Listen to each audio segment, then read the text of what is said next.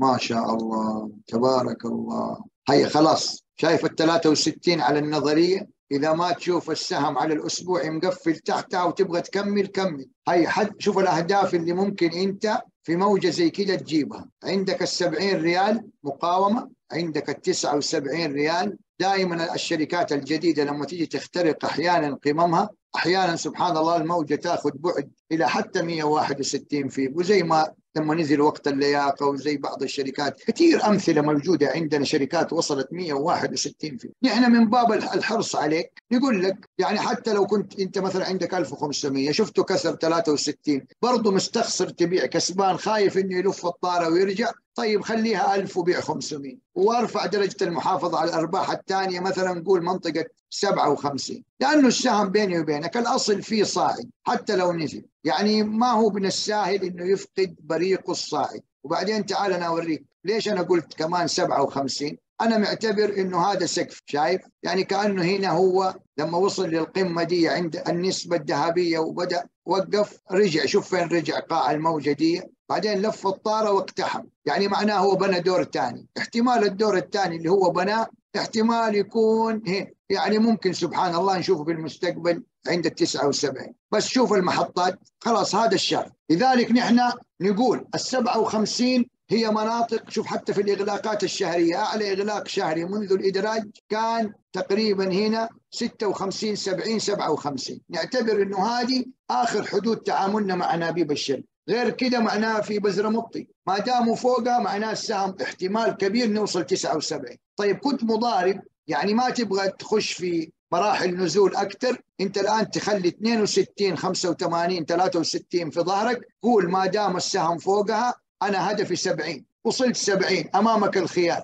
تبيع 500 وتبقي 1000 تبغى تكمل أنت حر. بس لا تتضايق إذا شفت السهم ضرب ال 70 وهدى لأنه هذه سلوك طبيعي. شوفوا هذا هذا ال chart شهري. لكن شوف ال chart اليومي شوف إيش إيش بيصير فيه. يوم أحمر يوم أخضر يوم أخضر يوم أحمر يوم أخضر أحمر أحمر أخضر. لكن كله على إيش؟ كله قاع أعلى من قاع قمة أعلى من قمة. شوف الآن هذه الفورة اللي فارها الآن ترى طبيعي جدا لو إنه عند النظرية 67 هد. يعني طبيعي طبيعي لو من 67 لأنه نطاق التذبذب سبعة الآن 6 ريال 7 ريال. طبيعي تشوف 3 ريال ريالين جني أرباح. بس شوف الآن هو مرشح للسبعين الآن. مرشح للسبعين ما دام فوق 63 والله يوفقنا وياك. شوف أنا أعطيتك الصورة كده بشكل رسمت لك الخريطة ووريتك بشكل عام الأمور كيف ماشية. عرفت الآن أنت إيش يعني دعم استراتيجي إيش يعني مطب مضاربي. عرفت الأهداف اللي ممكن أنت توصلها.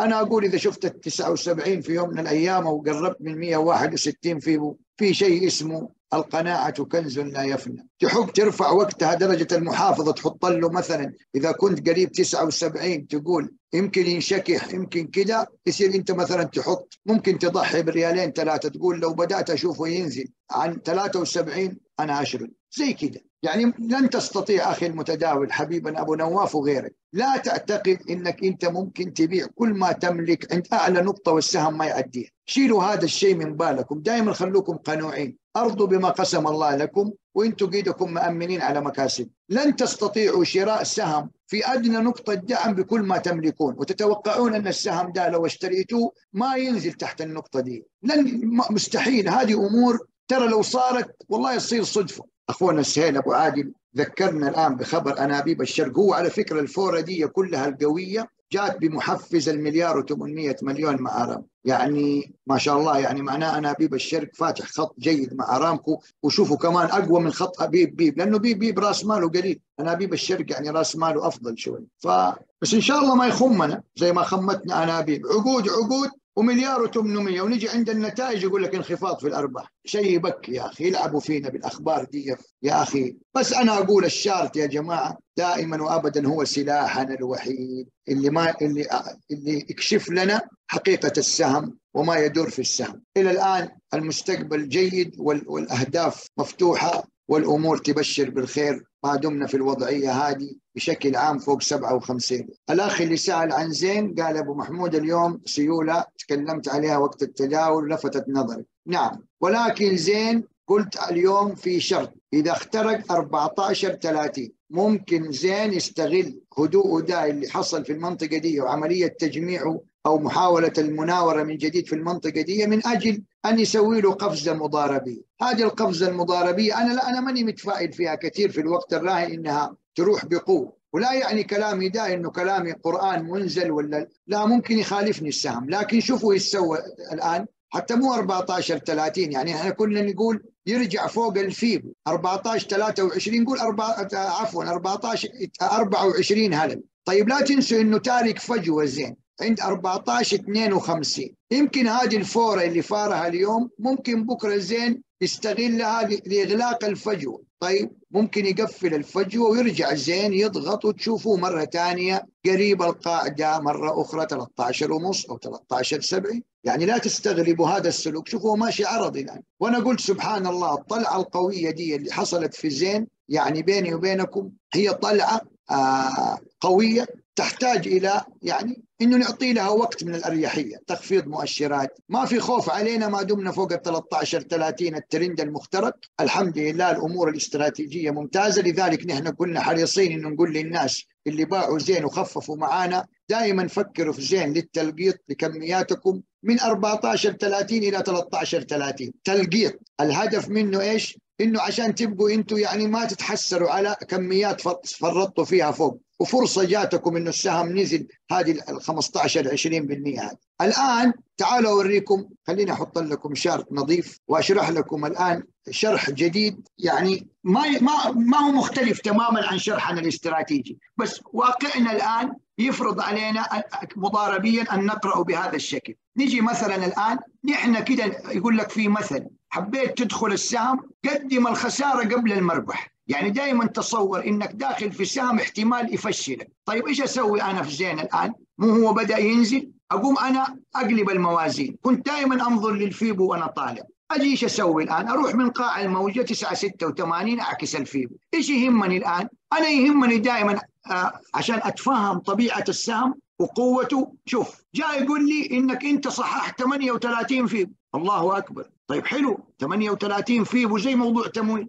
يعني ما شاء الله، فأنا الآن من من قاع 9 ريال و86 معناه ما قصر زين في نزوله ده. يعني صدق صدقت نظرتنا اللي قلناها للناس التحليل الأولاني. هذا برضه قاعد يأكد. إحنا قلنا حتى 13 30 لكن ممكن الإغلاقات ما تكون تحت ال 38 وفعلا شوف السهم نزل تحت ال 13 87 هلا لا. لكن هنا بيقول لك المنطقة دي هي منطقة تصحيح 38 شوف احترمها زين. هذا دليل على إنه إيش؟ محترم السهم يعني قد احترم نسبة التصحيح. يعني اعتبر نزوله دال هنا جلس يمشي عرضي. طيب الآن ممكن هذه الحركة العرضية تقود إلى حركة. نحن إيش نتوقع الآن؟ ممكن زين نقول يقفل الفجوة. إذا كان شكله على فوق ناوي الفجوة. الفجوة كم؟ الفجوة عند 14 52 وبعدين ينزل. يعني إحنا نقول إنه ممكن يطلع خاين. يعني يضرب الفجوة وينزل. ينزل فين؟ ينزل عند 13 87 مرة ثانية. وقلتها اليوم على المايك وضحك أبو يحيى. قلت له اعرف ندل يسوي حماس لأنه تعالوا شوفوا إيش كان يسوي تحت. ترى نفس الحركات اللي كان يسويها عرضيا هنا شوفوا كيف بعدين ختلة يرجع. شوفوا قبلها عنده حركات يعني متعودين عليه. قبل ما يطلع عنده حركات يشد شدة بعدين يجيك ساحب على تحت. يشد شدة ما طب ما يحقق لنا المنشود. نحن ما هو الذي يحقق لنا المنشود؟ يعني مثال تعالوا شوفوا الآن الاحترافية في التحليل الكلاسيكي. أنا الآن مالي في القديم اللي قلته. أنا ولد اليوم جيت فتحت الشارت حطيت الفيب وعرفت إنه أنا أهم دعومي الآن 38 فيب. عرفت إنه في فجوة هنا وتحولت عندي أهم مقاومة اللي هي انكسرت نسبة تصحيح كم؟ 23 فيب. والقيعان هذه اللي هي ما بين 14 80 أحط خط عرضي هنا 14 88 هلل. يعني أنا الآن لو بدي أتفائل في زين بدون ما أشطح أقول زين ان, ان تحرك فوق الفيبو اللي شفته أنا اللي هو الأساسي 78 في آه، فيبو وأنا طالع. زين من أهم أهدافه 14 80 إلى 88 بشرط إنه هو طالع يقفل الفجوه ويدعس. لأنه ممكن يقفل الفجوه ويرجع يضغط. يقول لك أنا رجعت يدي بس لأني تركت أبغى أرجع أسدد الدين ده وأنا راجع أبطبط هنا. ترى لسه مشواري طويل أبغى أبغى أبغى أرتاح فترة أطول. فنحن بكرة نشوف إذا تحرك زين فوق 14 24 هلله أول ما نتذكر نتذكر 14 52 إنه في ناس تعلقت هنا. كانوا مشترين زين ثاني يوم فتح زين بقاب داون وتعلم صح ولا لا؟ ففي عالم متعلقه مشتريه زين عند الإغلاق. فقام إيش سوى؟ فيهم زين علقهم عند الرقم ده. فهنا نتوقع إنه نشوف عرض كبير قريب الفجوة. طيب اخترق الفجوة خلاص الهدف 14 كم؟ يعني أنا لو مضارب حبيع هنا. إذا هدفي فقط مضاربه طيب تعالوا شوفوا الحركة الثانية. لو جينا نحن رسمنا قنوات أدوار هبوط. زي ما نرسم أدوار صعود. جينا من القمة دي إلى القمة دي. رسمنا قناة. وين قاعها؟ هنا. مثلا شوفوا الاستئناس كيف يا جماعة؟ هذه قناة هذا دور تمام؟ حلو؟ هو طبعا يفترض إنه في دور ثاني خلاص نحن الآن في الدور الثاني يعني يبقى سهم زين الآن ضعيف. ليه؟ يعتبر في الدور الثاني هبوطا. شوفوا لما نيجي هنا إيش نسوي؟ نرسم الوتد. سبحان الله يا جماعة والله إنه يتوافق مع دعمنا الاستراتيجي منطقة اختبار الترند 13 30 يعني شوفوا الآن لو زين رجع ما قدر يعدي منطقة الفجوة وما وما قدر يكفي فوق وطلع كده مثلا ضرب بكرة كده. بعدين لازم أنت تتوقع ما تعطي له الأمانة الزايد تقول هذا يمكن راجع يختبر القناة اللي كسرها. يقوم يرجع الأفندي لأنه لم يحقق قاع القناة الثانية. تلاقيه بعد فترة نزل على مبدأ القيمة والقيعان الهابطة وصار قريب ال 13 كم؟ 30 أو 13 20 وهنا حنكون. هنا هذه مناطق الدخول الذهبية الأكثر لأنه أنت بتدخل في قاع القناة. حلو؟ أحيانا يا جماعة شفتوا الحركة دي يسويها بدون ما يغلق تحت 13 80 يكون في وضع سلبي في السوق قوي أو خبر هو ينزل بقوة يسوي وتد. زي الحركة اللي سواها في النزلة هذيك حقت اللي قلنا السهم لما نسب ثاني يوم فتح ب gap down شوف كسر الفيو.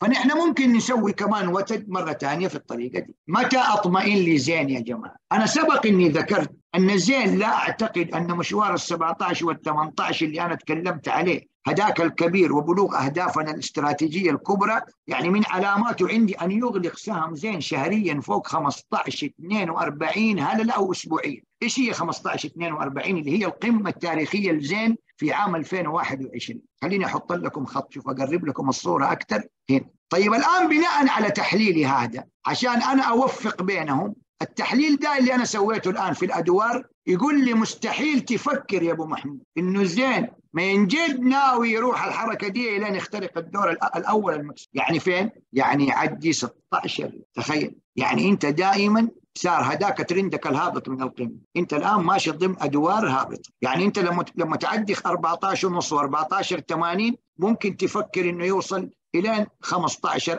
40 16 أنت مو تقول تبغى إغلاق شهري؟ طيب هو ممكن يضرب ال 15 90 يوصل قريب 16 ويطيح. ما يقفل فوق 15 42 ويرجع ياخذك مرة ثانية على تحت. فلو كسر الدور الأول حيرجع يطيح في الدور الثاني. علم فنحن الآن يعني مختصر الكلام. هل ما حصل في زين من تحركات اليوم؟ هل نحن في المنطقة اللي, اللي تخلينا نتفائل إنه زين راجع؟ لا. كيف بكرة نشم الريحة دي؟ لو عدينا منطقة الفجوة وعيننا على الإغلاق وعيننا على 14 80 فعلا زين لو عدى المنطقتين هذه. ترى في هبرة حلوة في زين لأنه ممكن يكمل ويروح ويدور مستويات ال 15 40 ودور خط الترند الهابط اللي فوق. معناه دخل هو في المرحلة اللي فوق. ولو ما كملها بسرعة حصل جني أرباح أنا ما أروح أستنى تحت 13 30 لا أنا أقول لا يرجع يكسر الدور الأول. لأنه مجرد إنك أنت تعدي 14 ونص منطقة الفجر. معناها فك التعليق وراح 14 80 لما يجي راجع نحن دائما عيننا حسير على 14 ونص. ما يصير تنكسر إذا كان في إغلاق فوقها. هذه بتعطينا باور إنه زين ممكن عمر الموجه دي الارتدادية تطول شوية. يعني ممكن تجيب لها نص ريال قدام ريال قدام كمان. وضحت الفكرة يا هل زين؟